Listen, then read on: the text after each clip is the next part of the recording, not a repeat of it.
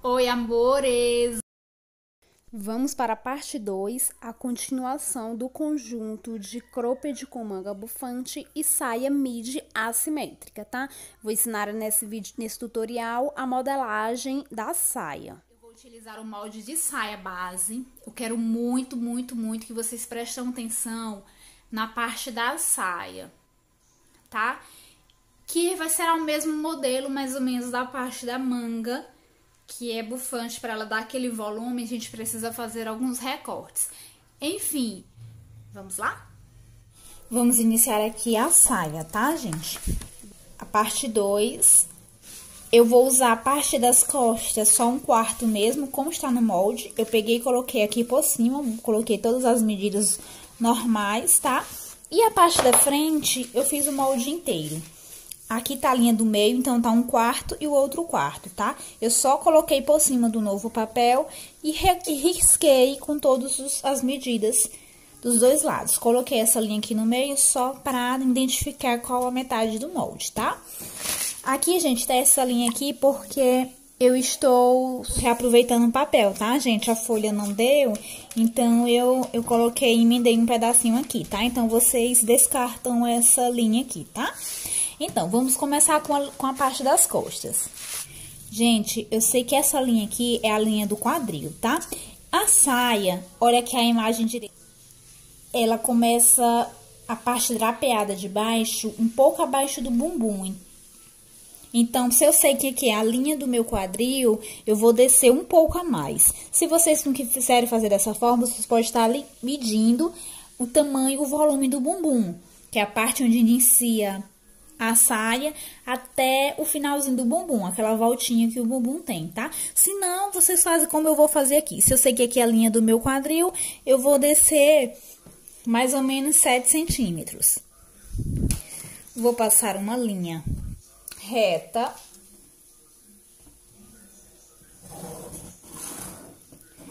E, gente, ela é um pouquinho arredondado. Então, aqui, aqui é o meio, né? A metade do molde, um quarto do molde. Aqui vai ter outra parte. Então, eu vou... Eu vou arredondar só esse lado aqui, tá? Subir um pouquinho mais redondo, porque quando vocês for cortar no tecido, dobrar o tecido no meio, é, vai ficar os dois lados, tá? Redondinho. É você manual mesmo, ó.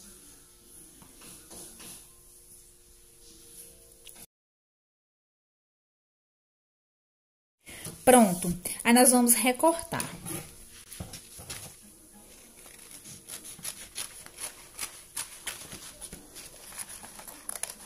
Pronto. A parte de cima é só isso. A pensa a gente vai utilizar do mesmo jeito, tá? E essa parte aqui de baixo, nós vamos fazer o seguinte, nós vamos dividir ela em cinco pedacinhos, que é pra gente fazer, enlarguecer ela pra ela ficar naquele, naquele caimento, tá?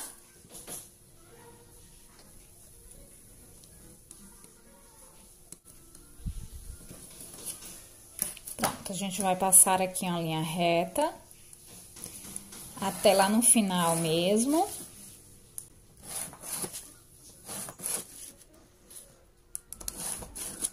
A gente vai recortar até chegar em cima.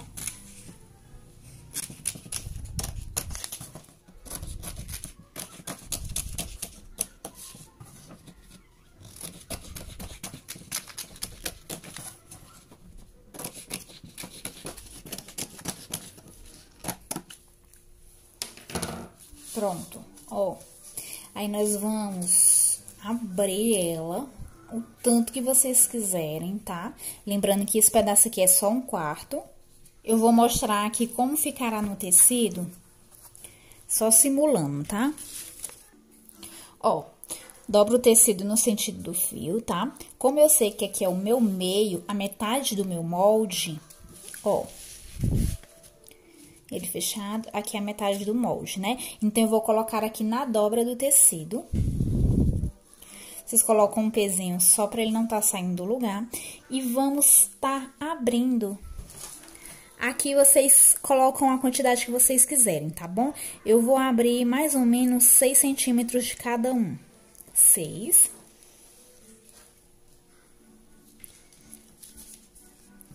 E para ele não estar tá saindo do lugar, vocês podem estar colocando peso por cima ou até mesmo é, fitas. Então, para recortar, vocês recortam aqui, redondinho, como está aqui, gente, seguindo sempre o molde, tá? Aqui passou um pouquinho, mas não importa que eu não vou recortar, só tô simulando para vocês. Cortam aqui, deixando a margem de costura. Aqui, deixando um pouquinho maior por causa da bainha, tá? E vocês vão recortar dessa mesma forma aqui, ó, redondo.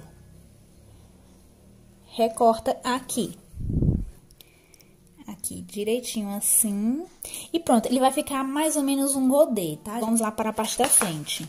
A frente é um pouquinho diferente a parte de cima, porque ela é assimétrica, tá? É, é, por esse motivo, eu tive que colocar o molde inteiro. Eu vou pegar aqui a altura da minha lateral da saia, o que nós tiramos. Vocês medem a quantidade que deu. Aqui, como a gente deu aquela, aquele recortezinho redondinho, então não vai ser os 25, vai ser 23 e meio. Então, gente, nós vamos colocar aqui os 23 e meio. 23 e meio. Tá? Aqui eu sei que é a minha metade do molde, então eu vou trazer 4 centímetros para este lado direito, tá? Da metade para cá. 4 centímetros. E vou trazer 27 centímetros do início da saia até aqui embaixo, 27 centímetros.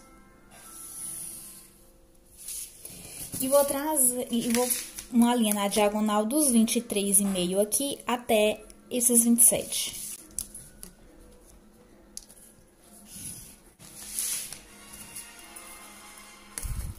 Pronto. Gente, eu vou ligar aqui até o final só pra gente recortar, tá? Desse lado aqui, eu já até risquei aqui, mas são a mesma quantidade. Foi os 23 lá e aqui também vai ser os 23,5, tá? 23,5, certinho. E nessa linha aqui, eu vou subir. Eu vou marcar 15 centímetros, tá? Do início até aqui 15 centímetros, que é para este lado, e vou ligar com esses 23,5 aqui. Também na linha diagonal. Pronto, gente. A saia, ela é assimétrica, por isso que tem essas medidas. A gente vai recortar.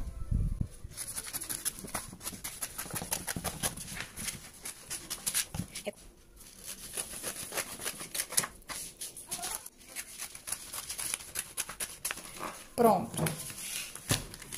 Isso que nós vamos usar ainda, tá? Essa parte de cima, ela ficará assim.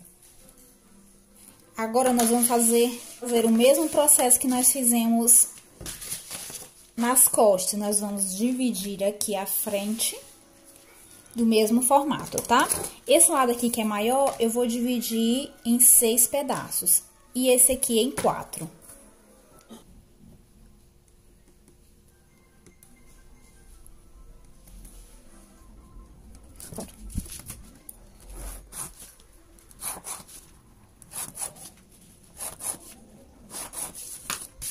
Esse lado aqui, nós colocamos seis. Um, dois, três, quatro, cinco, seis. Esse lado nós vamos colocar só quatro. Gente, essas medidas aqui, é, fica a critério de vocês. É, é só pra gente abrir a saia, tá? Quanto mais é, dividir aqui embaixo, mais aberta ela fica, tá? Se vocês não quiserem muito aberto, vocês podem estar diminuindo aqui. Aquele lado eu tô fazendo seis porque está maior e aqui só quatro porque é mais estreito, tá?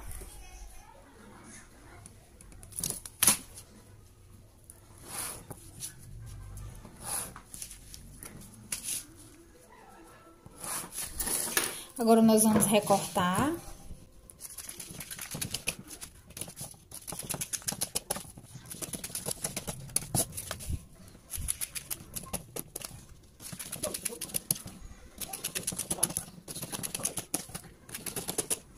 Pronto, ó. E o recorte é a mesma coisa das costas, tá? Eu vou simular novamente no tecido para mostrar para vocês como é o recorte. Ó, o meio do tecido na dobra do tecido, tá? Eu dobrei ele no sentido do fio. Vou colocar o pezinho. E vou abrir também 4 centímetros.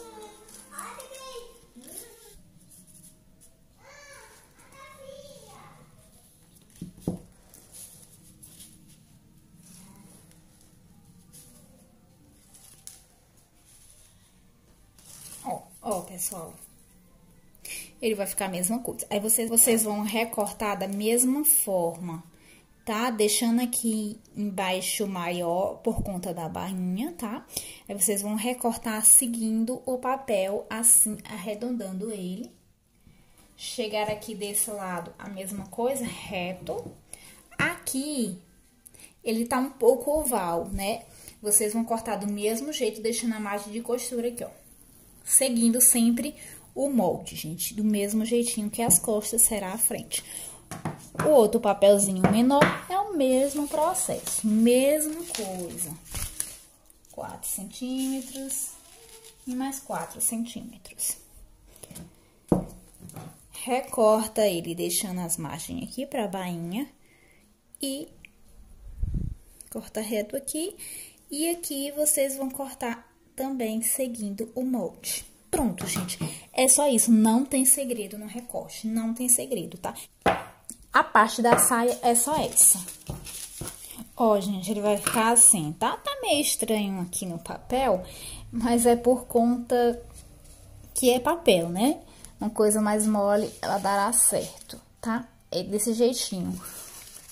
É, como a gente não alterou em nada aqui na medida, ele vai encaixar direitinho aqui, ó só embaixo que vai ficar esse caimento. Aqui, a mesma coisa. Como nós não mexemos nada aqui em cima, ele ficará dessa forma e aqui embaixo aberto, tá? A sonha é isso. Eu espero que você goste, viu, Giane? E eu adorei o molde. Desculpa pela demora, mas é porque tinha outros na frente, então eu tinha que fazer primeiro, tá? Espero que você goste e faça, tá? É muito fácil esse molde. Parece ser complicado, mas não é, tá? Um grande beijo no seu coração. Fique com a paz do Senhor.